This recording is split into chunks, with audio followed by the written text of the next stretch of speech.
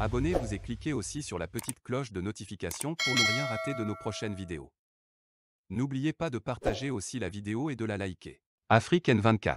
Les officiers, des jeunes officiers qui étaient dans l'appareil sécuritaire, qui ont dit non, on ne peut pas nous utiliser contre la population encore, parce que c'était prévu de décapiter le mouvement même avec des morts, déporter les dirigeants et puis en finir avec.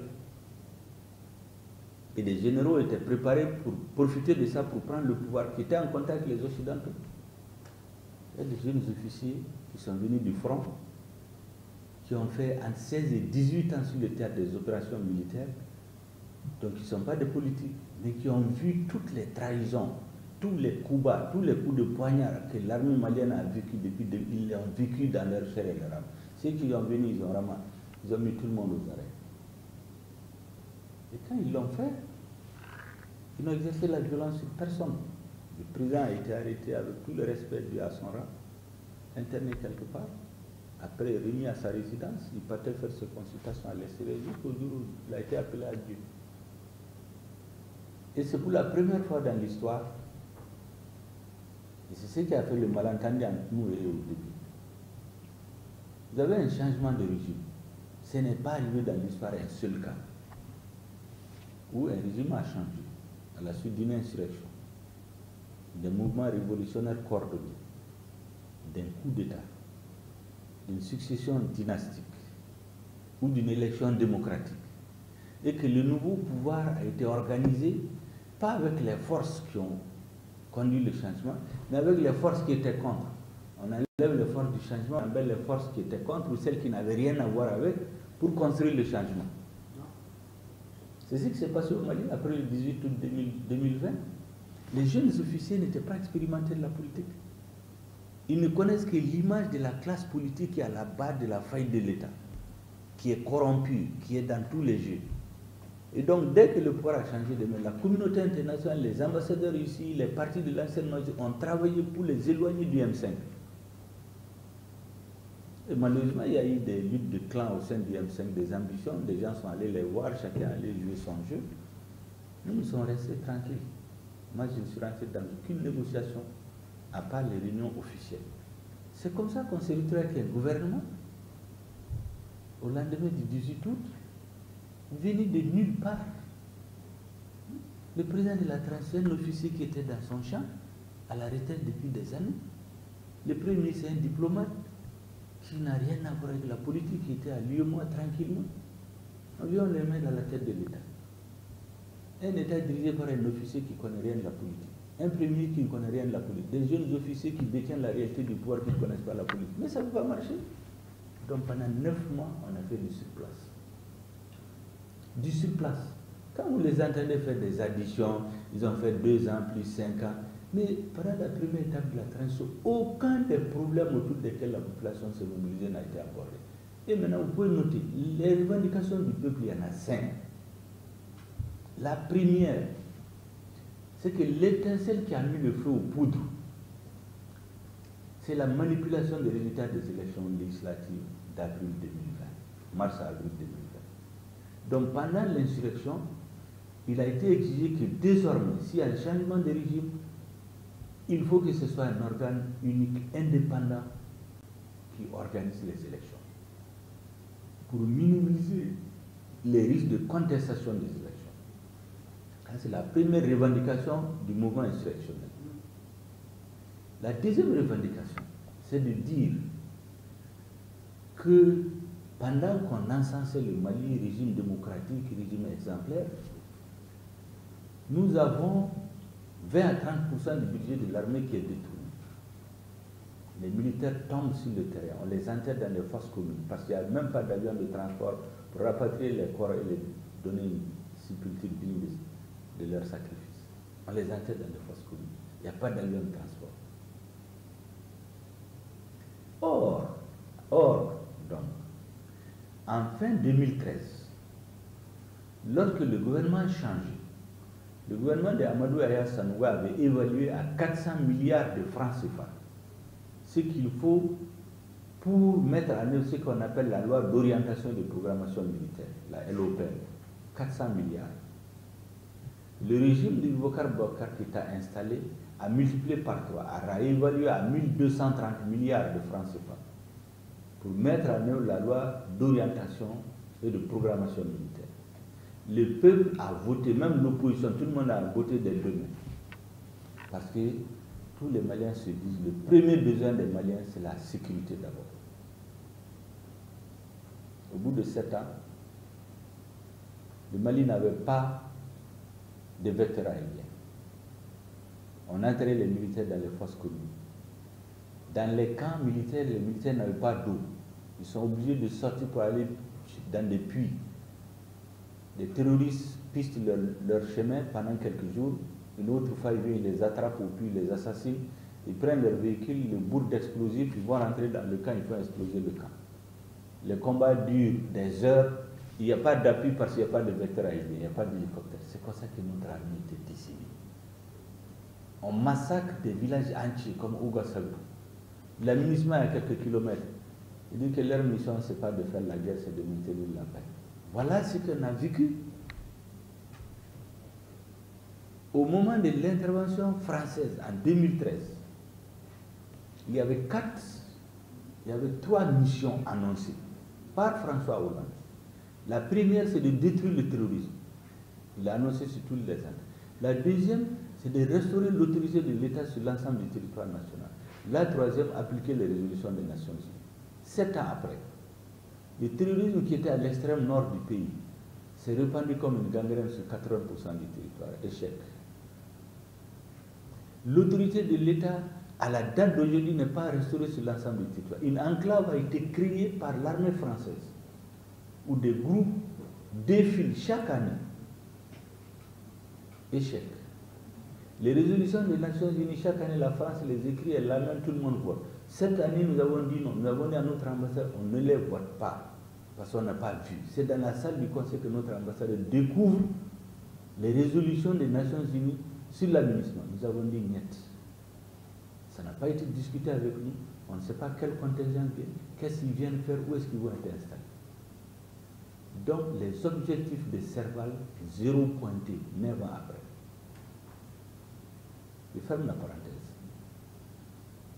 Donc, le premier besoin des Maliens, c'est la lutte contre la corruption. Parce que la corruption a gangréné le cœur du système sécuritaire. Je vous donne quelques illustrations. À un moment donné, le président a annoncé aux Maliens qu'il va acheter six hélicoptères de combat. Tout le monde était content. Quelques mois après, on a deux hélicoptères. À la date d'aujourd'hui, l'argent des cartes a été dissipé. Ceux qui l'ont fait, ils font partie de ceux qui disent qu'il faut faire les élections tout de suite et qui sont soutenus par la CDAO. Et nous les, nous les connaissons. Il n'y a que deux hélicoptères. Les deux, deux mois après, ils sont tombés en panne. C'est des hélicoptères d'occasion achetés au prix du neuf. Ici, on sort l'argent pour acheter quatre avions de combat, six avions. In fine, on a quatre. Les deux, l'argent, on ne sait pas où c'est parti. Les quatre qui sont venus, il y a des fonctions qui manquent. Vous avez des pistolets qui coûtent 1 million, 110 000 francs CFA, on les facture à 1 million. Des camions, 110 000 francs, on les facture à 1 million à l'armée malienne. Des camions de transport de, carburant et d'eau qui coûtent 25 millions de francs CFA, on les facture à 250 à 300 millions. Des camions de transport de 40 millions, on les facture à 400 millions. Voilà comment le budget de l'armée est dissipé et notre armée détruite. Pendant ce moment, on ridiculisait, ah oui, les soldats maliens, dès qu'on tire sur eux, ils fuient. On envoie 200 soldats au front, on met dans les papiers qu'il y a 200, en réalité, il n'y a que 150. Les 150, il y a 100 qui ont des fusils, 50 n'en ont pas. Les 100 qui en ont, dès que les combats commencent, au lieu d'avoir 3000 balles, ils ont peut-être 200. 10 minutes après le combat, qu'est-ce qu'il faut Ils fuient, on les tue. Voilà comment on a dévalorisé l'armée malienne. Tout le monde sait que les Soudanais ont toujours été les plus vaillants, même dans ce qu'on appelle les tirailleurs sénégalais. La langue de communication, c'était le bambara. Pourquoi? Parce que quand ça chauffe, c'est eux qui montaient au front. Moi, j'ai dit aux uns aux autres ici, j'ai dit aux Français, il ne faut pas qu'ils se trompent le peuple. C'est un peuple de résistance et de résilience. Pendant la pénétration coloniale, il y a des pays qui ont été colonisés en six mois, un an. Chez nous, sur l'actuel territoire malien, entre le 22 septembre, le 22 septembre 1878 et le 20 mai 1916, le dernier résistant, Firoun Aguilar Tessar, 38 ans de lutte pour qu'ils puissent pacifier ce qu'ils appellent le Soudan. Pendant 70 ans, ils n'ont pas fait un mois sans qu'il y ait des insurrections. Moi, j'ai perdu des grands-parents. Certains ont été décapités, d'autres ont été déportés à Gorée. C'était un puni leur fin, ils sont venus, ils sont morts à Gomokokura, d'autres sont retrouvés. Donc c'est un peuple de résistants que les Français connaissent. Les plus grands chefs militaires en France qui ont fait la première et la deuxième guerre mondiale, ils étaient formés au Soudan. Tous. Donc on ne peut pas, sauf à avoir à la tête de l'État des hommes chez qui on a inoculé le virus du pétinisme. C'est ce qui nous était arrivé pendant 30 ans la faillite, les gens ne croient pas, on ne peut rien sans la France. Donc, le problème du Mali, c'est que personne n'a pu manipuler les M5 RFP.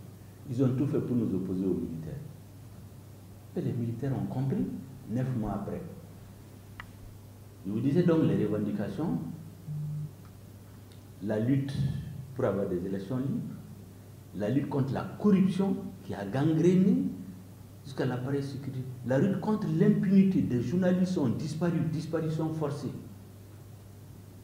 Aujourd'hui, les enquêtes continuent. On a lancé des mandats d'arrêt. Les présumés coupables sont cachés dans certains pays de la CDAO. Disparition forcée des journalistes. Dans un pourtant, tout le monde applaudissait. Le Mali est un pays démocratique. Le peuple dit donc, deuxième revendication, la lutte contre l'impunité et la corruption, si le régime change. Troisième revendication du peuple, c'est qu'on a tenté de réviser la constitution depuis 2001. Première tentative, c'est Alpha Omar Konaré qui l'a ici, échec. Il a lancé la, modification, la loi votée, la campagne électorale lancée, il a fini par l'arrêter parce qu'il y avait un risque de soulèvement. Tété Larissé, il est tombé entre-temps. Ibeka Larissé en 2017, il y a un risque de soulèvement, il a abandonné. Donc il y a un besoin imminent fort de révision de l'ordre institutionnel. Donc les réformes politiques et institutionnelles sont indispensables pour réhabiliter le processus démocratique. Mieux, je l'ai dit aux responsables de la CDAO ici, en 2018, après l'élection présidentielle, une crise qui a duré huit mois, la CEDEAO a envoyé une délégation de haut niveau conduite par le ministre nigérien des Affaires étrangères. Et ils ont déposé un rapport en octobre 2018. La CEDEAO a demandé de ne plus organiser d'élections au Mali sans faire les réformes politiques indispensables. La même CEDEAO qui nous dit de ne pas les faire aujourd'hui. Le régime avait refusé, ça conduit à sa chute. Donc le peuple dit les réformes politiques et institutionnelles. Le peuple dit ensuite il faut réarmer notre force, nos forces armées de sécurité pour avoir la sécurité. On ne peut plus continuer à assister à des massacres par centaines de Maliens alors que vous avez des forces internationales ici. Vous avez Barkhane, Takuba, G5 Sahel, EITM, ECAP, l'armée malienne. Plus de 50 000 hommes. Tous les jours, on massacre des villages entiers. Et on nous dit que le régime qui est là, c'est un régime démocratique. Qui tue sa population, qui détourne l'argent des populations. Pendant ce les gens font la fête. Ils font les avions, première classe, ils vont à Paris, ils font le week-end. Ils sont avec les ambassadeurs, ils font la belle vie. On a dit non. Troisième revendication du peuple, la lutte contre la corruption et l'impunité et les réformes politiques et institutionnelles. Et enfin, le peuple dit qu'il faut donner à l'armée les moyens pour assurer la sécurité. Et la dernière, dernière revendication, l'application de l'accord pour la paix et la réconciliation ici de procédure en veillant à éviter toute tentative de partition du Mali à moins ouvert. Parce qu'il y a les germes de la partition du Mali dans l'accord qui a été signé sous Voici les revendications autour desquelles la population s'est mobilisée. Mais quand le régime a changé, Aucune de ces revendications n'a été mise en œuvre. Jusqu'à mai 2021. À partir de mai 2021, je crois que les militaires se sont interrogés. Nous nous sommes venus arrêter la guerre civile. On a risqué nos vies. Mais on voit que le mécontentement commence dans la population. Parce que le M5 n'a pas baissé. Nous leur avons dit que aussi longtemps que les réformes autour desquelles la population s'est mobilisée, ils les mettent pas, nous n'allons pas baisser la garde. Malgré qu'il y ait des divisions entre nous pour des raisons de pouvoir, comme on dit, la lutte unie, le pouvoir divise. Que les militaires se sont dit, mais écoutez, il faut qu'on change de fusil d'épaule. On s'est trompé. Et je à partir de ce moment, on a décidé de les enlever. Donc on voulait faire la jonction avec les M5 pour créer un fort mouvement pour les éjecter du pouvoir. Mais nous ne sommes pas naïfs. Après eux, ça va être notre tour. Nous avons dit non. Vous voulez qu'on entre dans un gouvernement? Nous avons dit on n'entre pas dans le gouvernement. Parce qu'on a des revendications claires qu'on a listées, on a déposées sur la table du président de la transition. On n'a arrêté personne. Aucun mandat d'arrêt n'a été arrêté. L'organe unique des élections, il n'en parlait pas. Les réformes politiques, on n'en parlait pas. On a même interviewé le premier qui dit qu'il n'y a aucun mandat d'arrêt contre que ce soit. on va nous embarquer de quoi On va nous donner des postes de ministre, monsieur le ministre, vous allez faire vos affaires, voyager à l'Occident, changer de veste, mais ce n'est pas notre combat. Ça, c'est la cause principale de cet acharnement.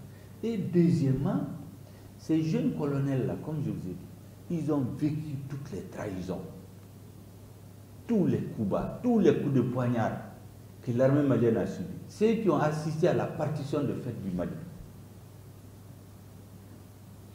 Parce que, et je le rappelle pour ceux qui ne le savent pas, lorsque le président de la transition, en 2013, le 9 janvier, a écrit au président français pour demander l'intervention militaire pour stopper l'aventure de Diadé sur Bamako. La lettre qui a été, ainsi, qui a été initiée par les Français au passage, cette lettre-là, il n'y a aucun exemplaire au Mali, ni aux affaires étrangères, ni à la défense. C'est sur le site du Sénat français que nous, nous pouvons retrouver ça. Cette lettre disait à l'État français d'aider le Mali en appui aérien et en renseignement. Il n'était pas prévu des militaires français au sol du Mali appui aérien et renseignement.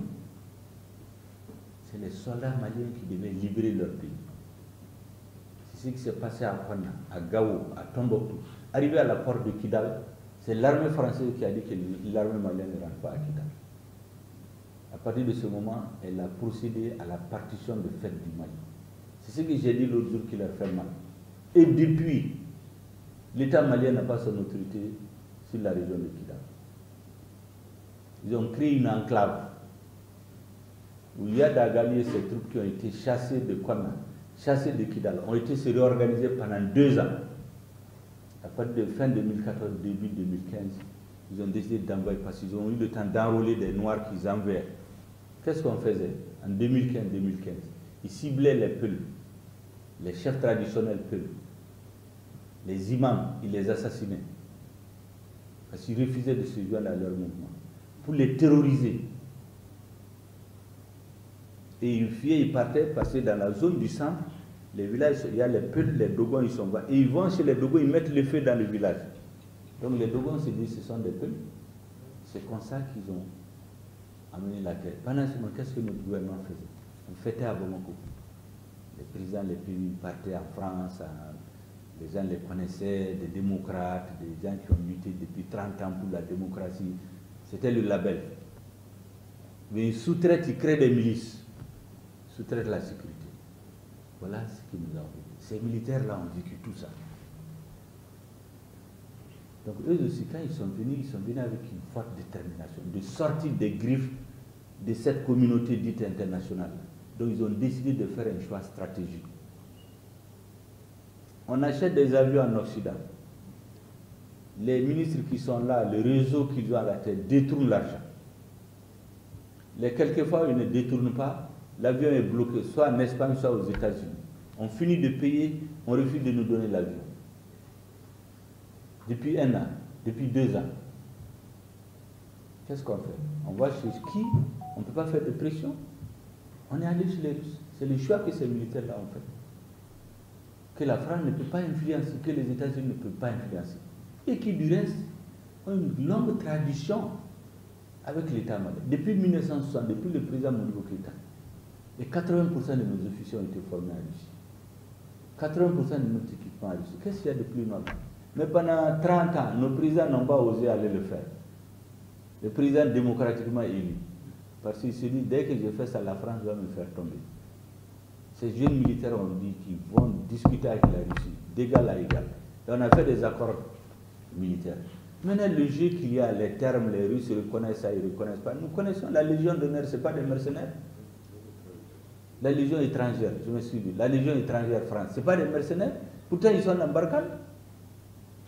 Vous savez qu'en 2020, le Sénat français voulait jouer à l'institution très démocratique, a invité certains pays du G5 Sahel, disant qu'est-ce que vous pensez de Bakan naturellement, ils pensaient qu'ils allaient les flatter. Et l'ambassadeur du Mali a eu le malheur de dire l'armée l'armée française joue un rôle très important, mais il y a des comportements de certains légionnaires qui ne font pas honneur à la grande France. Avec des tatouages, ils sont dans des boîtes de nuit, ils font du n'importe quoi. Ça ne donne pas une bonne image de la France. Devant les sénateurs qui l'ont invité, le fait d'avoir dit ça, ils ont dit qu'il faut qu'il quitte la France, que ce nègre ait osé parler comme ça. Le gouvernement qui était ici, tout de suite a mis le ministre des Affaires étrangères dans un avion pour aller demander pardon. L'avion qu'il a amené, ils ont mis l'ambassadeur pour le ramener. Le ministre a été demandé pardon et depuis, on Mali n'a pas d'ambassadeur en France. Beaucoup ne savent pas ça.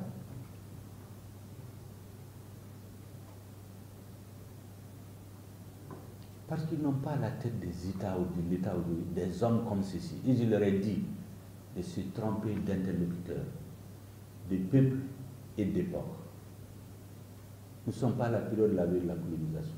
Ils n'ont pas en face des cadres qui étaient heureux de parler le français châtié, de connaître l'histoire de la France, de se faire taper sur les épaules, président démocratiquement élu, c'est le dernier de nos soucis.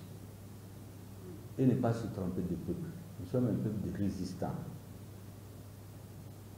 Et dans la grande histoire du Mali, plus que millénaire, je leur ai dit, de l'Empire du Ghana à l'Empire du Mali, à l'Empire Songwe, l'État est tombé chaque fois qu'il y a eu des traîtrises.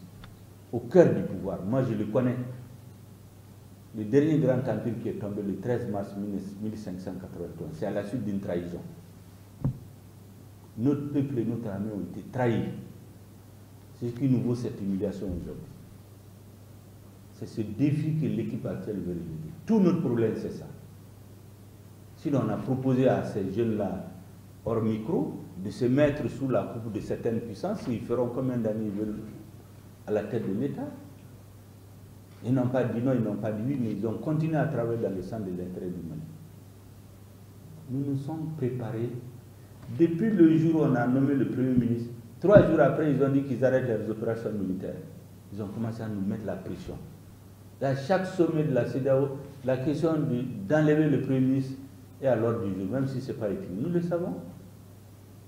Il faut enlever ce Premier ministre. C'est un homme un populiste qui n'a rien il n'a eu que 3% aux dernières élections. J'ai dit, mais c'est quoi? Macron avait combien de pourcents avant de devenir président? Le président sénégalais avait combien de pourcents avant de devenir président?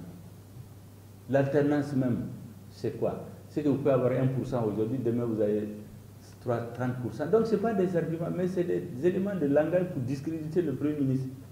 Même dans le sommet de la CEDAW, on le dit. Mais c'est les éléments de langage élaborés par, par qui on sait? Problème, c'est ça, il faut le retenir. C'est vrai, les officiers, les jeunes officiers qui sont à la tête de l'État ne sont sous la coupe de personne. Ils ne sont parrainés par aucune puissance étrangère. Le M5RP n'a pas été parrainé et ne sera pas parrainé par une puissance étrangère. Et ceux qui ont tenté de jouer le jeu des ambassades, ils ont été discrédités dans le mouvement. Tout notre tort, c'est ça. Le reste, là, c'est des mises en scène. C'est le seul pays où les militaires ont pris le pouvoir. Ils ont laissé la constitution en l'état. Ils ne l'ont pas dissous. On a fait une charte de la transition pour prendre en charge les préoccupations du mouvement insurrectionnel qui vient compléter l'attaque. Tous les autres ont dissous les conseils, les ont remplacés. Au Mali, ils ne l'ont pas fait. Ils n'ont mis aucun dirigeant de l'ancien régime au motif qu'il était avec l'ancien régime. Personne n'a été relevé de son poste. Le président du RPM, c'est récemment qu'il a fini son mandat à la tête d'une banque. À la fin du mandat, il a été remplacé. Le président de l'ADEMA, il est au Conseil national de transition. Donc, c'est une première que nous sommes en train d'expérimenter au Mali. Parce que nous avons dit qu'il ne faut pas que les aspérités politiques nous amènent à nous diviser. Parce que nous savons que même dans le parti au pouvoir, beaucoup n'étaient pas d'accord avec ce que faisait l'entourage du président. Vous savez comment le pouvoir fonctionne en Afrique Donc on ne peut pas les frapper tous de l'anathème au motif qu'ils étaient avec Ibeka. Donc c'est ce qui nous a guidés à dire une transition inclusive. Mais l'inclusivité ne veut pas dire que c'est eux qui vont orienter la transition. C'est là où on ne s'entend pas avec eux. Les gens, après les premiers mois ils ont peur, les gens ont repris du... Maintenant, ils disent la transition, il faut que nous, on la pilote. Ça, ce n'est pas possible. Et il y a des diplomates qui jouaient à ça, à diviser les Maliens, n'acceptaient pas de collaborer avec eux, maintenez la tension pour qu'il y ait les sanctions. On a mis en garde un diplomate une fois, deux fois, après on a avisé son institution qu'il joue un rôle contraire à la mission d'un diplomate. Il n'a pas voulu, on l'a expulsé. D'ailleurs, un mois avant, on leur a dit de le changer. Comme il faisait du sale boulot, on ne l'a pas changé. On l'a expulsé, après ils l'ont trouvé un remplaçant. Vous avez des ambassadeurs qui unissent des groupes ethniques. Si le gouvernement fait venir les Russes, il faut vous soulever. Il ne faut pas accepter. Parce que les Russes, quand euh, ils viennent, tous ceux qui ont les armes, sans l'autorisation de l'État, ils les traitent comme des terroristes. Donc il faut vous soulever. Le ministre des Affaires étrangères a convoqué le dit ambassadeur et lui a dit de cesser ses activités subversives. J'ai demandé au ministre de le convoquer et de lui dire. Donc beaucoup de choses se sont accumulées. Nous avons dit simplement à tout le monde, tous ceux qui veulent travailler contre notre pays, déstabiliser le gouvernement, nous ne pouvons pas les tolérer sur notre territoire. Nous avons été très clairs avec tout le monde. Le rôle d'un ambassadeur, c'est de consolider les relations entre les pays. Une fois que vous voyez cette grille de lecture, vous comprenez ce qui nous oppose à la CEDEAO. La CEDEAO veut ramener la transition aux élections. Nous avons dit de faire attention. Si ce n'était que les élections, depuis 30 ans, le Mali organise des élections. Pourtant, on a eu combien de coups d'État Combien d'insurrections Donc ça veut dire que l'élection n'est pas la solution. L'élection est une condition de la démocratie nécessaire mais n'est pas suffisante. Et si c'était les élections seulement qui réglaient, ils ont fait 20 ans d'élections en Afghanistan pour installer des régimes dits démocratiquement élus. Ça servait à quoi? Quand vous avez un régime corrompu, frauduleux, qui tue sa population et qui truque les élections, mais ce n'est pas la démocratie. Le nombre de personnes sur lesquelles on a tiré pour les tuer pendant les processus dits démocratiques, les militaires sont venus, aucun sang n'a coulé au Mali. Le sang qui a coulé, c'est avant leur arrivée, avec le régime dit démocratique, que les Français et les autres soutenaient. Donc c'est ça le problème. Maintenant, qu'est-ce qu'ils ont fait? Ils ont utilisé les leviers de la CEDAO. Vous savez, la CEDAO, tellement les gens ne respectent pas les règles. Quand il y a eu le changement de régime le 18 août, à 7h38, à 10h déjà, le président de la commission de la CEDEAO fait un communiqué pour suspendre le Mali. Mais ce n'est pas le rôle d'un président de commission. C'est le rôle de la conférence des chefs d'État. Le président de commission. J'ai dit qu'il faut qu'il aille apprendre ses leçons. Les chefs d'État se réunissent, ils prennent des mesures de fermeture des frontières. Ça n'existe dans aucun acte de la CEDEAO, la fermeture des frontières.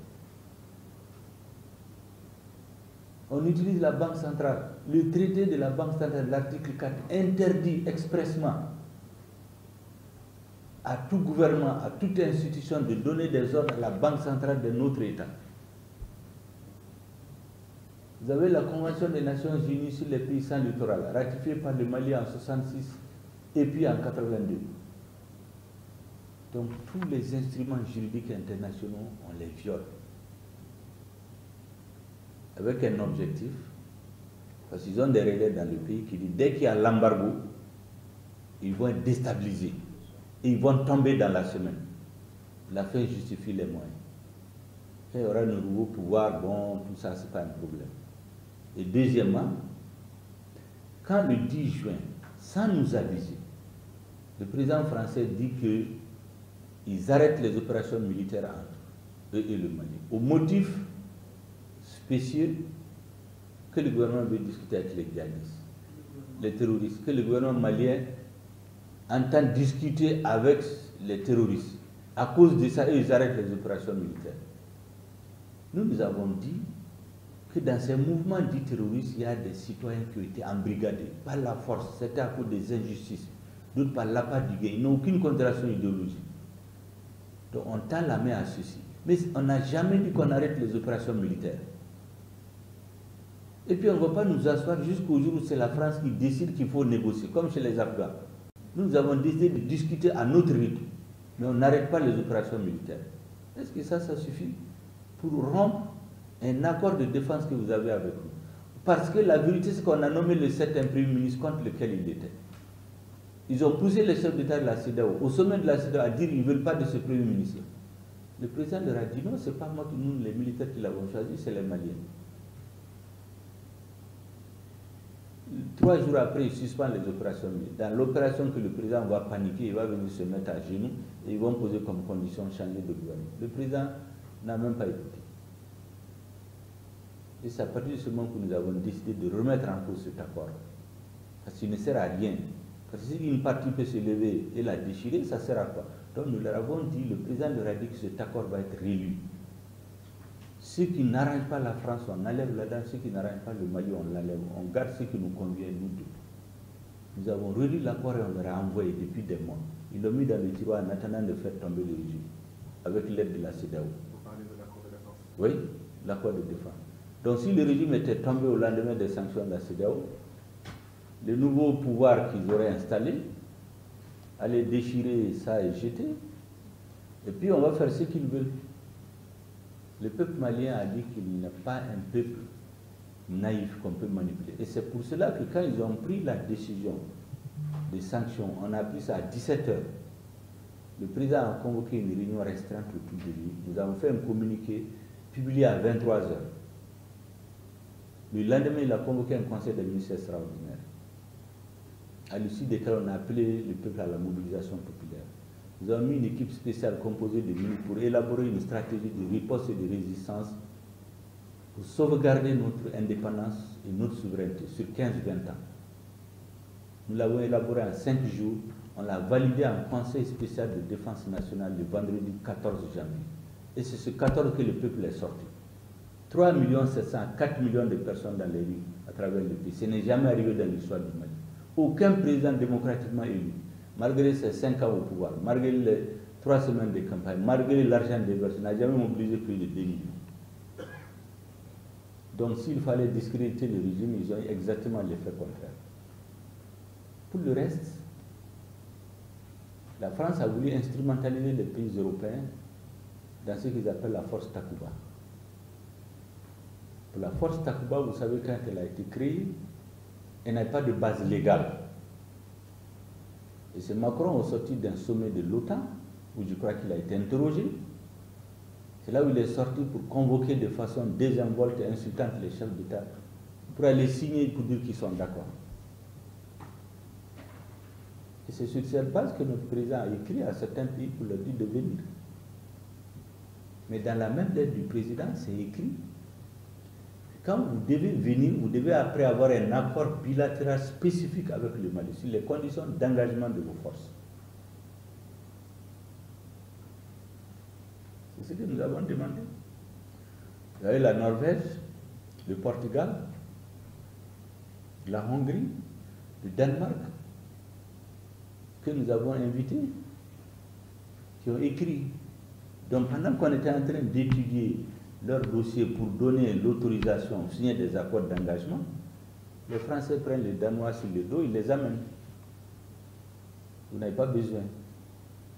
Ils étaient habitués à ça. Nous avons dit non, nous avons dit aux Danois de dégager jusqu'à ce qu'on ait un, un, accord. Si les Portugais et Hongrois ont attendu, il faut qu'ils attendent. Ils sont sortis pour dire qu'ils ne quittent pas. Le lendemain, on a fait un communiqué précis pour leur dire qu'on leur donne 24 heures pour quitter notre territoire. Ils ont fini par partir. Et c'est ce qui a déstabilisé les Français, qui se font passer pour les propriétaires, les parrains du Mali au niveau de l'Union européenne pour aller créer une force solidarité. C'est pourquoi j'ai organisé une réunion avec les diplomates avant-hier, dont le discours est là, j'ai donné une copie, pour dire à tout le monde de faire attention. Nous, nous avons simplement une équipe de patriotes à la tête de l'État qui ont décidé de prendre leurs responsabilités. Et nous avons lancé de larges offensives militaires depuis le 28 décembre jusqu'à aujourd'hui. Nous avons éliminé plus de terroristes que pendant les 30 dernières années. Nous avons détruit plus de bas terroristes que pendant les 10 dernières années de lutte de la communauté internationale. Nous avons attrapé des terroristes de toute nationalité. Ils sont avec nous. Ils sont en train de parler à la gendarmerie. Les pays de la CEDEAO, ils ont des cellules dormantes chez eux. C'est nous qui avons les informations maintenant sur ce qu'il y a chez eux. Pendant ce moment, on va nous déstabiliser. Si aujourd'hui on libère les frontières, le Sénégal, la Côte d'Ivoire, dans trois semaines, ils seront envoyés par les terroristes. Le Mali est une digue. Malheureusement, ils ne comprennent pas.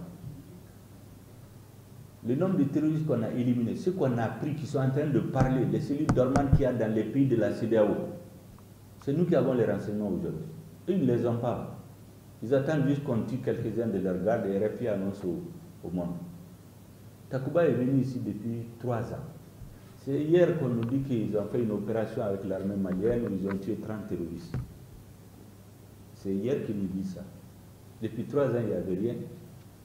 C'est au lendemain de la mise en garde que nous avons faite, où nous avons dit qu'ils ne servaient à rien. Maintenant, si les gens veulent travailler, nous ne sommes contre personne. Mais on ne peut pas traiter le problème du Mali par procuration. Nous l'avons dit à tous les pays. Nous ne sommes pas une sous-préfecture de la France. Notre président est un chef d'État. Il ne reçoit pas d'ordre du président de la France. C'est son partenaire, qui peuvent s'asseoir pour discuter. C'est tout ce que nous avons demandé. Donc, ce qui nous oppose à la CDAO, c'est que la CDAO veut ramener toute la transition à une élection, un processus électoral, sinon électoraliste. Nous nous disons non, si la transition ne règle pas les questions qui été à la base du soulèvement, les gens vont dire après la transition, c'est comme avant la transition. Nous ne sommes pas d'accord avec la CDAO. Et nous avons dit qu'il faut que les Maliens qui vivent la terreur dans leur âme, ils viennent se parler. Même les zones où il y avait les terroristes, les populations ont participé aux assises nationales. Sauf là où on est venu par les armes, les sorties de la salle, à Kidal et à gens sont venus, ils ont parlé. Ils ont dit qu'ils veulent un gouvernement qui mette de l'ordre, qui ramène la sécurité. Et dans leurs estimations, c'est entre 6 mois et 10 ans. C'est ce qui a été dit aux assises. Mais comme c'est une majorité, c'est dégagé pour 5 ans, on a retenu 5 ans. Et les dirigeants de la CDAO avaient demandé au président Goïta de leur donner un calendrier, quel qu'il soit, avant le 31 décembre, pour ne pas donner l'impression de les défier. Sinon, nous leur avons écrit pour dire que c'est le 31 janvier qu'on viendra avec un calendrier mûrement réfléchi, pesé ou sous-pesé. Ils ont mis la pression. Ils ont dit envoyer n'importe calendrier pourvu qu'il y ait une base de discussion. Donc quand les assises sont terminées le 30 à 18 h je suis monté avec le président dans son bureau, avec nos collaborateurs. On a travaillé jusqu'à une heure pour sortir le calendrier, la résolution que le peuple a pris les 5 ans, comment repartir le temps pour être sûr. La défense nous dit c'est à telle période que je pense que je peux conquérir militairement le territoire l'administration qui aura les services sociaux de base, la santé, donc on calcule tout ça, on est sorti sur 5 ans. On a fini à une heure. Le matin, on a délégué une équipe qui allait remettre au président les de la CDAO. Donc nous, nous nous attendions à ce qu'ils viennent pour nous pour discuter. Mais comme l'objectif c'était de faire tomber le régime, parce que la France avait déjà annoncé, parce que vous aurez remarqué, ça vous pouvez le noter, avant chaque sommet de la CDAO, c'est un ministre français qui sort qui dit la CDAO tiendra un sommet à telle date, il y aura des sanctions et après l'Union européenne se tiendra à telle date, on va entraîner les sanctions. Donc ils avaient tout annoncé avant. Donc au lieu de venir vers nous, La CDAO organise une fuite et on commence les calculs. Un gouvernement qui a déjà fait deux ans, plus cinq ans, ça fait sept ans, ça c'est du quoi? Ce n'est pas de la démocratie. Donc celui qui n'est pas au courant du processus interne peut croire effectivement. Mais de tous les pays où il y a eu les changements anticonstitutionnels, le Mali est le seul qui a donné au moins un calendrier, même si c'est cinq ans. Personne d'autre n'a donné. C'est le seul pays où on n'a pas dissous la Constitution. Ils ont organisé cette campagne-là contre nous. On est resté de marque. Finalement, ils ont, leur envoyé spécial est venu. Le président a dit, mais écoutez, on vous envoie un document pour discussion, vous l'amenez à la place publique. Ça veut dire quoi ça? Il a reconnu effectivement que ce n'était pas la bonne méthode. Le président nous a mis la pression, il dit, Eric, voyez vos délais. Il faut qu'on sorte de cette confrontation avec la CIDEO parce qu'il y a un mélange des gens. Nous savons qui est derrière. Sortons de ça avec nos frères pour que celui qui est derrière tout ça, on lui fasse face directement. On a recalculé les dates, on a serré, on est arrivé à 4 ans. Et on a laissé une marge de discussion encore. On leur envoie ça. Nous, nous savons que le médiateur leur a dit de ne pas prendre ces sanctions. Parce qu'en quittant ici, il a vu deux choses.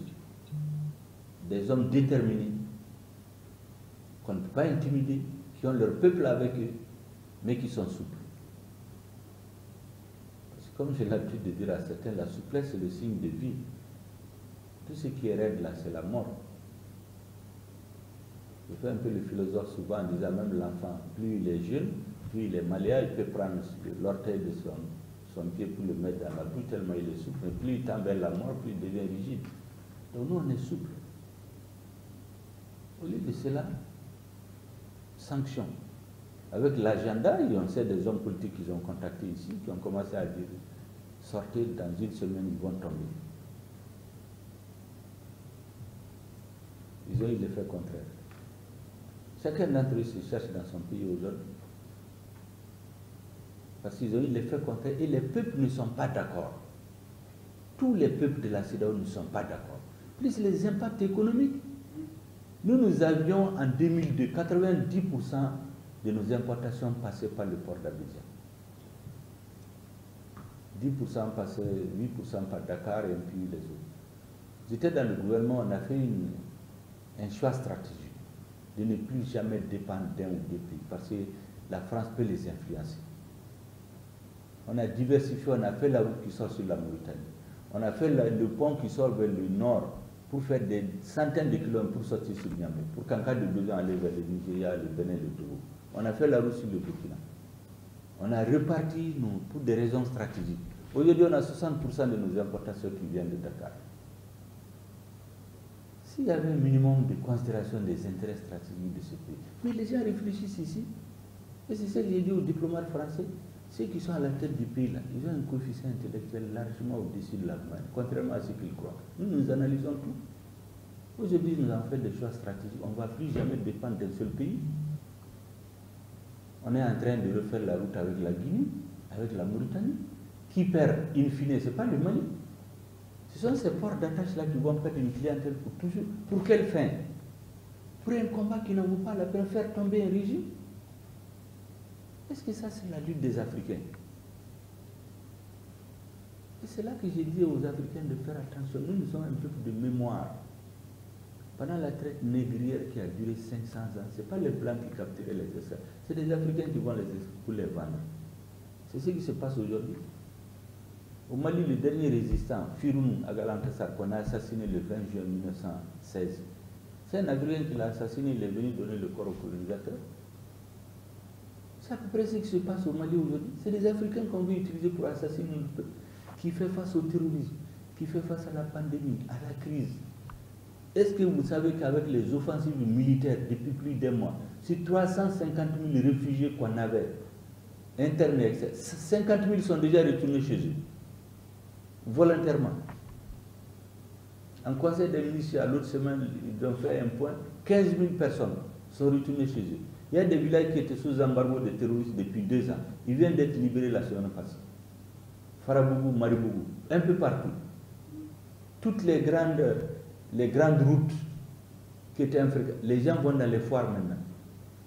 Partout. Au lieu de nous féliciter, nous appuyer, c'est pendant ce moment qu'on veut nous assommer. Pour le compte de qui on sait qu'il y a un agenda qui est différent de celui du Mali. Je vais terminer par deux choses que vous verrez dans les livres, parce que moi j'écris. Parmi les hommes politiques là, moi j'analyse, je lis, j'écris. Il y a une brochure que je vais vous donner. Vous voyez une citation de Pierre Mesmer là-bas. Au lendemain des indépendants, j'ai ses mémoires. Il dit qu'au lendemain des indépendants, ils ont pris soin de mettre à la tête des États ceux qui demandaient l'indépendance avec le moins d'intransigeance, après avoir éliminé politiquement et militairement tout ce qui exigeait l'indépendance avec intransigeance. C'est ce que le, Macron veut l'appliquer. Ça ne passera pas au Mali. Et grâce à l'aide des peuples africains, ça ne passera pas. Et votre aide, ça ne passera pas. La deuxième chose, je vous ai dit ici que c'est la France, les autorités françaises, qui ont violé la lettre que le gouvernement malien leur a écrite, en créant une enclave au nord, où les terroristes se sont organisés pendant deux ans pour revenir envahir le reste du pays. Mais quand Serval s'est transformé en Balkan, comme je l'ai dit à l'insu du peuple malien, le commandant de Barkhane a fait le tour des troupes ici. Arrivé à Faya Larjo, la grande base, il a fait le tour. Voici ce qu'il a dit aux soldats. Il dit, nous étions venus ici à 100 ans. On est reparti à 60 ans. On est revenu maintenant pour 100 ans. C'est le journaliste Laurent Larcher qui l'accompagne, qui l'a mis. Comme je lis tout sur ça, je l'ai mis dans mon livre. C'est ça le fond. Tout le reste là, c'est la poudre des Africains. Ils ont à la tête du Mali des hommes qui lisent, qui comprennent les jeux, des officiers qui ont vécu tout sur le terrain. Toutes les trahisons, tous les coups bas de là, tous les doubles jeux. C'est des officiers qui ont fait les forces spéciales, les forces d'état-major. Ils comprennent toutes les stratégies qui sont en place. Et vous avez des hommes politiques aujourd'hui qui aident à faire avancer la transition. Tout notre problème, c'est ça. C'est pourquoi on, diabolise le président, on diabolise le premier ministre, on dit de l'enlever, il faut le remplacer par une marionnette. Nous connaissons la liste des hommes qu'ils ont déjà, qui doivent prendre le pouvoir à la suite d'une transition précipitée. Pour nous retomber dans la même chose. Aujourd'hui, la grande corruption, vous avez des opérateurs économiques qui viennent faire des aveux. Comme on leur a dit de surfacturer les marchés, 10, 15 fois plus, les chiffres que vous avez donnés, c'est des chiffres concrets. Pendant que le pays est en guerre. Mais pourtant, les conférences internationales, le Mali, pays démocratique, pays exemplaire au Mali, à Afrique. Mais que, que pensait le peuple? Voici la réalité. Donc vraiment, ce que vous faites, vous ne faites que votre devoir. Mais vous n'êtes pas obligé, tout le monde ne s'est pas mobilisé comme vous le faites. Il y a des pays où les gens ont voulu se mobiliser, même pour aller remettre une simple lettre à l'ambassade du Mali, on les a empêchés. Pourtant, c'est des régimes dits démocratiques. Ils ont menacé de quitter ici. Nous, nous, devant l'ambassade du Mali, c'était interdit. Nous, nous ne chassons personne. Mais celui qui veut partir, parce qu'il veut échanger sa présence contre notre dignité, notre souveraineté, notre indépendance, nous ne retenons pas. Nous ne changerons pour rien. La dignité, l'honneur, l'indépendance la souveraineté du Mali ne sont pas négociables. Ce n'est pas marchandable. C'est tout. Merci bien. Likez la vidéo si ce n'est pas déjà fait. Laissez aussi votre point de vue en commentaire.